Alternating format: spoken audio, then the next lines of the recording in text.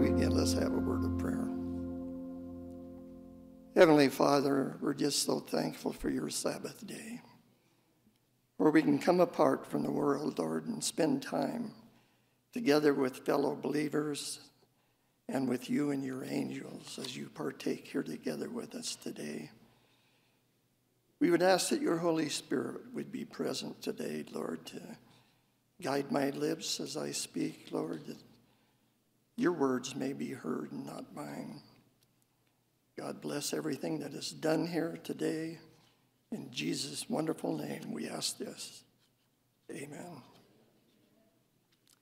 Are you able to hear me okay? I got these new hearing aids and I keep getting echoes in my, you know what I'm talking about. Is that me talking? Yeah. So we're talking about Lot's wife this morning here.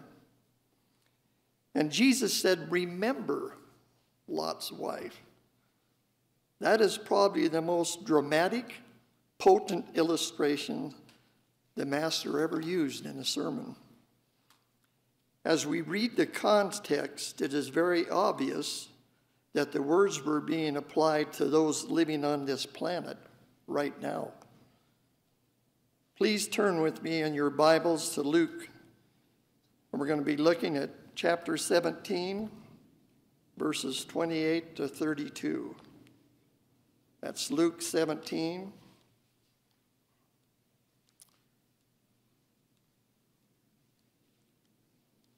Matthew, Mark, Luke. It was here yesterday. Oh, yeah. 17. And verses 28 through 32. Likewise, I also, likewise also, as it was in the days of Lot, they did eat, they drank, they bought, they sold, they planted, and they built. But the same day that Lot went out of Sodom, it rained fire and brimstone from heaven and destroyed them all. Even thus shall it be in the day when the Son of Man is revealed. In that day, he which shall be upon the housetop and his stuff in the house, let him not come down to take it away. And he that is in the field, let him likewise not return back. Remember Lot's wife. Remember Lot's wife. What did Jesus mean by that cryptic expression, remember Lot's wife?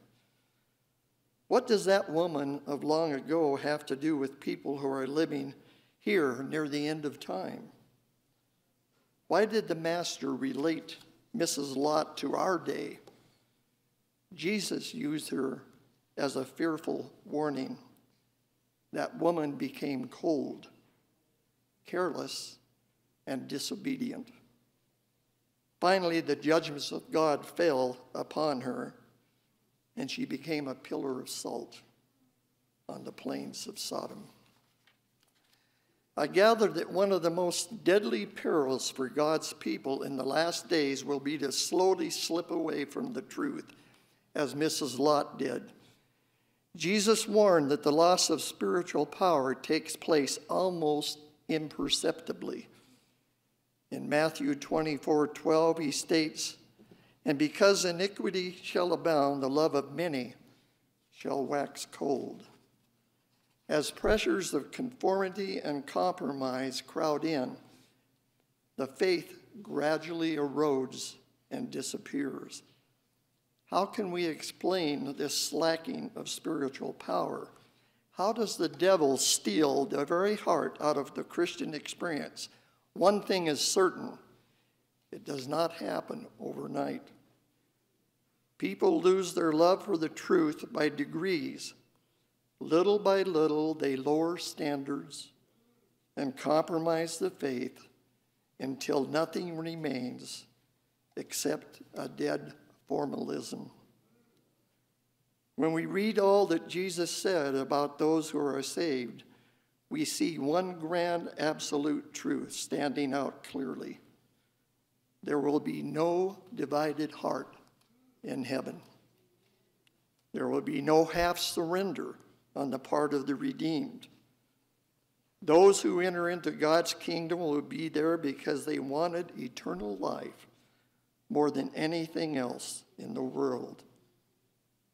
The Lord Jesus used Lot's wife as an example for those in the last days who will not be single minded for the truth, who will love material things more than the things of God. In Luke 14 33, Jesus says, So likewise, whoever he be of you that forsaketh not all that he hath, he cannot be my disciple. Have you done that yet? Have you forsaken all? But let's get back to the story of Lot's, Lot's wife and try to understand what Jesus wants us to learn from her example. According to the Bible record, she belonged to one of the finest families in the East. As a nephew of Abraham, Lot shared the tremendous faith of his uncle and prayed at Abraham's altar. When God's call came to get out of Mesopotamia, Lot went right along with Abraham, not knowing where the call might lead. Together they brought their families into the to the entering place of the promised land and offered their sacrifices of thanksgiving. Well, after a while, dissension erupted between the herdsmen of the two wealthy kinsmen. We all know this story. Their vast combined flocks and herds didn't have enough room to graze in such a restricted area, and they had to separate. Abraham, being the nice guy that he was, gave Lot first choice.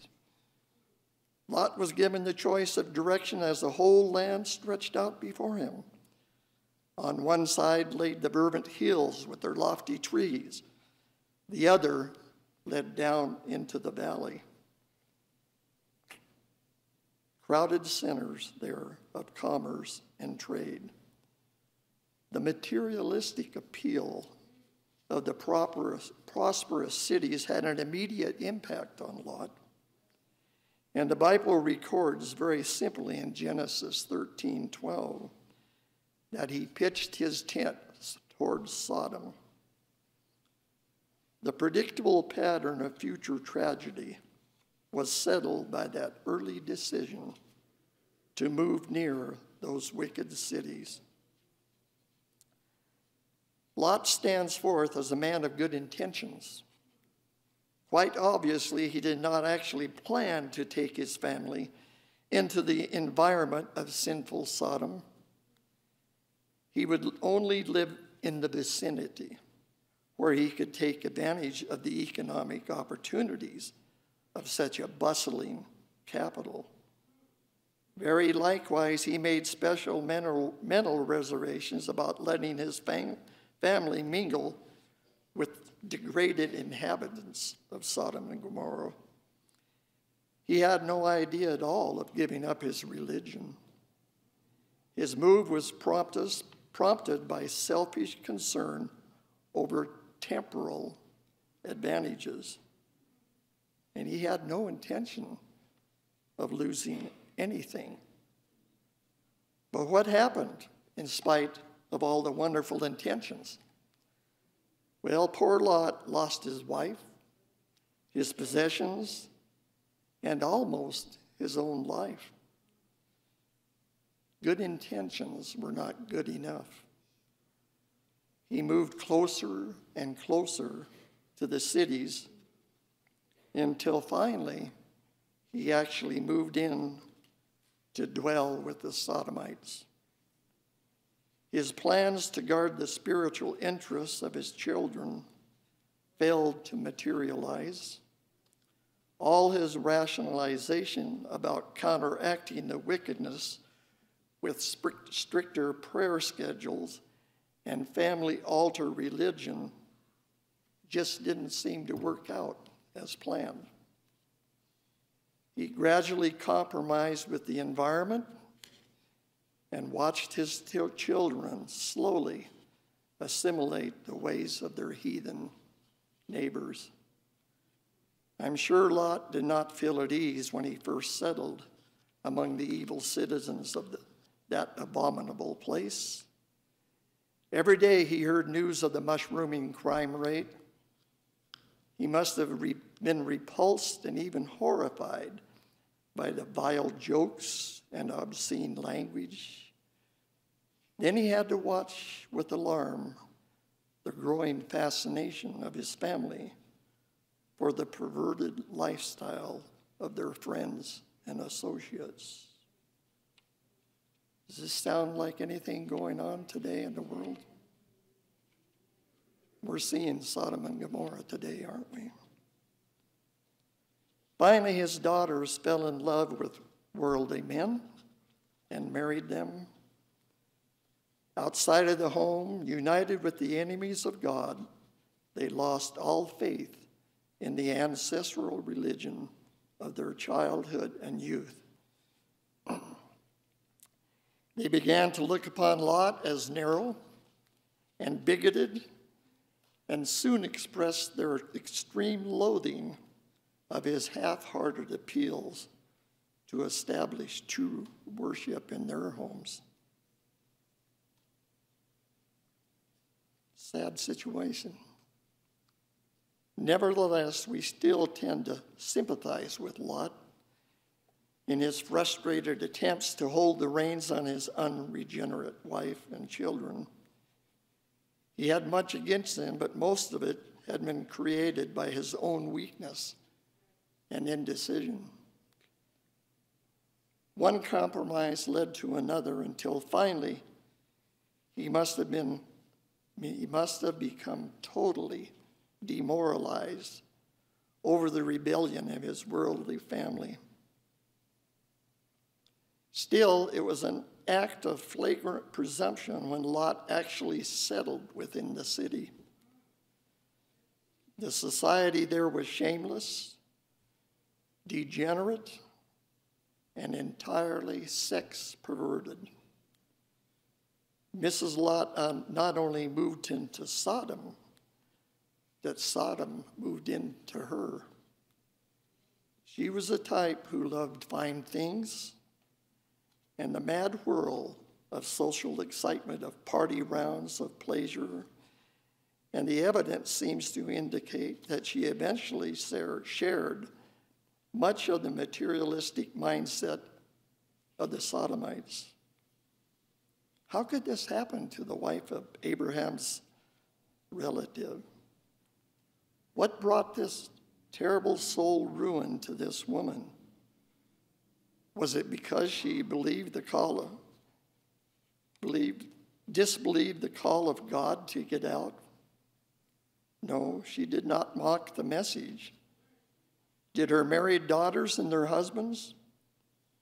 She believed the warning and actually started on her way to safety. But mark this there was no eagerness in her heart and no enthusiasm for the program. She was so reluctant to leave the fine appointments of her affluent Sodom home that she lingered. Her heart and life had been so bound to material things that she could hardly pull away from the accumulated treasures of those finely finished rooms. With death at her heels, she lingered with life and security awaiting her on the mountaintop, she lingered. With light, when, what was wrong with the woman? The problem was that she loved the world more than she loved God. I hope none of us are there. The Lord is coming soon. Now is not the time to leave. She still believed the truth. She knew what she ought to do. She wanted to be saved, yet she lingered. Today, we still find many people exactly like Mrs. Lot. They also believe the truth, know what they ought to do, and want to be saved. They linger too, just as she did. Like Lot's wife, many of them wait until the pull of the world overpowers the will to act, and they are not able to let go of things. Why will people linger over the call of God? Have you ever done it? Millions have lingered until the best years of their life are gone. They linger until the children grow up and are lost in the world. They linger until the world holds them with bands of steel and the voice of God dimly fades away. But at last, Mrs. Lot began to move. The record describes how angels had to take hold of their hands to hurry them out of the doomed city. The angels cried, Escape for thy life. Look not behind thee.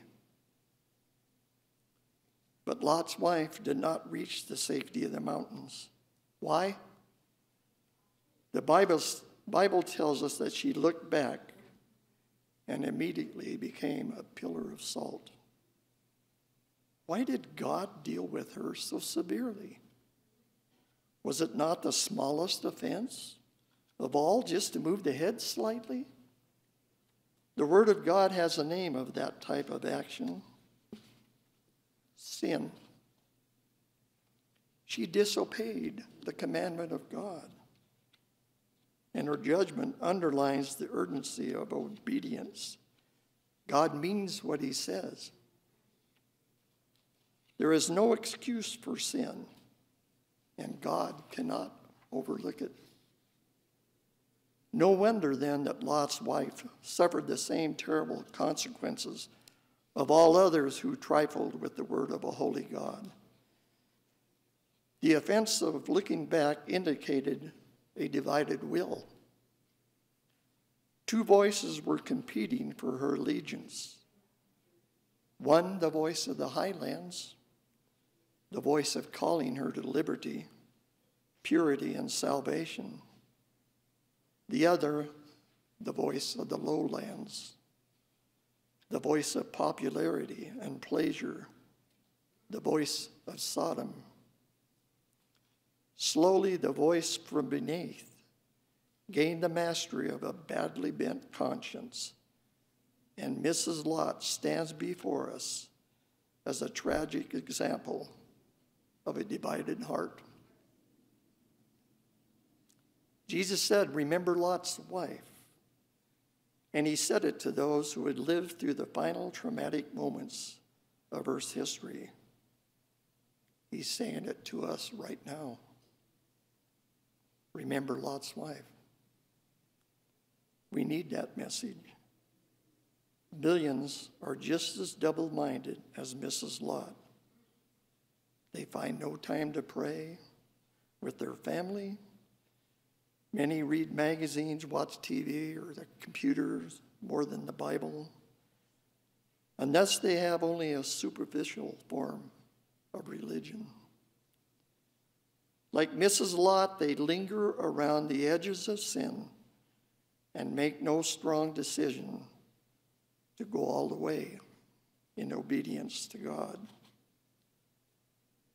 Some, like Lot's wife, will be so wedded to the world that they cannot let go in time. They will have to perish with the things they loved. Others, like Lot, will arouse just in time to choose quickly and decisively. Without a backward glance, they will move out in complete obedience to the will of God. The same issues that precipitated the dramatic showdown in Sodom are leavening the Christian church at almost every level. Materialism and lukewarmness have placed a mold upon the lifestyle of millions who profess to be followers of truth today. While the winds of destruction are slowly slipping through the fingers of the four angels who have been holding them back, the professed people of God relax in a carnally secure dream world. Like Lot's family, they have become comfortable in the society of money markets and a compromised faith. The story of Lot and his family proves that God will not long tolerate a lifestyle, a double lifestyle on the part of his professed people. Those who are trying to live in two, two worlds must make a decision. James 4 4, it says, Whoever so therefore will be a friend of the world is the enemy of God. Pretty strong words. John, 1 John 2.15, love not the world, neither the things that are in the world. If any man love the world, the love of the Father is not in him. Jesus knew that many others would be just as attached to things as Lot's wife was. They would linger, then look back with longing heart upon those things that are forbidden. In Luke 14 33, Jesus said, Whoever he be of you that forsaketh not all that he hath, he cannot be my disciple. Are you ready to give it all up? What's holding us back here? Is there anything here that we really are that attached to? The Word of God has much to say about sin, but never a good word. No one has ever read the slightest inspired mention that sin should be reduced or diminished. Whenever it is mentioned, sin is declared to be non negotiable. It is to be abandoned, rejected, and utterly reputed. Jesus does not say to the adulterous woman, Go and taper off on the sin. He said, Go and sin no more. John did not write, My little children, these things I write unto you that you sin less and less. He plainly said, I write unto you that you sin not. Just as the angels pleaded with Lot and his family to make a total surrender, the Holy Spirit urges upon us the same kind of commitment today. Multitudes linger in the twilight zone of indecision while the fires of destruction are poised for the annihilation of this world. Worldlings and professed Christians alike are hearing the plea of God to turn away from the Sodom in their lives. The door of probation is open for only a few minutes more. The sins of Sodom are just as hypnotizing and appealing today as they were long ago. The same perverse practices have been more commonplace and popular than they ever were in the doomed city of the plains. You know, have, we, have you looked around here lately, folks, at the news and the garbage that's coming out from Hollywood and, and the programs? I mean, if the Lord doesn't come soon, he's going to have to apologize to Sodom and Gomorrah for destroying them. We're, we're right here on the end. The only thing he's waiting on is us and us to share this good news with others. So, the secret of being able to resist and reject the appeal of a perverse renegade society is to look at the cross of Jesus. We might abhor the evil and desire deliverance, but there is only one source of strength to break the pattern of sin. Christ's substitutionary death at Calvary satisfied the penalty which transgression had placed against every living soul in the world. The broken law demanded death. And when Jesus suffered that penalty for every man and woman on the cross, a glorious transaction was made. I love this statement made on page 83 of The Desire of Ages. Most of you are familiar with it, but I'd like to read it to you one more time. It would be well for us to spend a thoughtful hour each day in contemplation of the life of Christ. We should take it point by point and let the imagination grasp each scene. Have you done that lately? Especially those closing ones. I give out a lot of desire of ages to people. I say, if you don't read any of the book, it's a big book. Turn to Gethsemane. Read that chapter, and you won't be able to put the rest of the book down. Read Gethsemane. See what Jesus went through for you and for me. Another section of the Desire of Ages, pages 713 and 714. Peter was outside. He wasn't next. John was up next to Jesus at this time. Where was Peter? He was out with a mixed multitude by a fire, warming himself. And he had denied the, the Lord three times with these folks.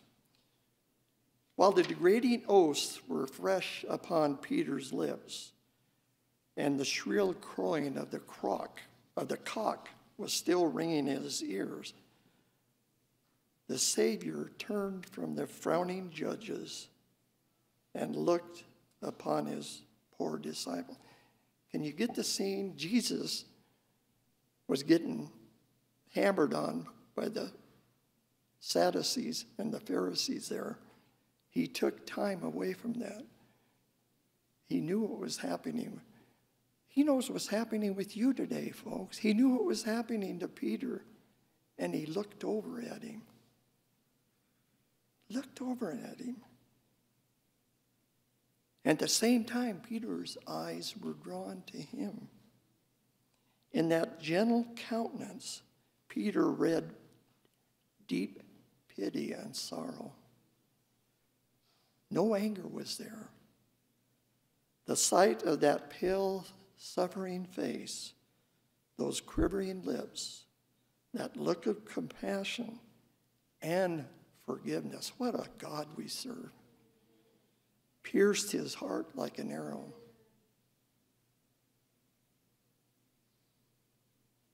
We need to spend more time with Jesus, folks. It was not long after this encounter that Peter found his way back to the Garden of Gethsemane. He was overcome by drowsiness along with the other two disciples earlier.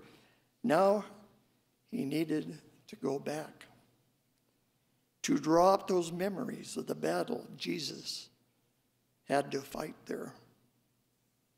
If you read description of that, Jesus almost died there if it hadn't been for the angels stepping in. Satan and his crew was all around him. All he could see was darkness. He couldn't see any further. You know, folks, like Peter, we too need to spend time in the garden remembering what was done there for each one of us. Like Peter, we've all fallen short, but we have a Savior who loves us immensely. To avoid ending up like Lot's wife, we each need to spend time every day in the garden and near the cross. May our anchor hold, Lord, and grip you Jesus Christ, our solid rock. Amen.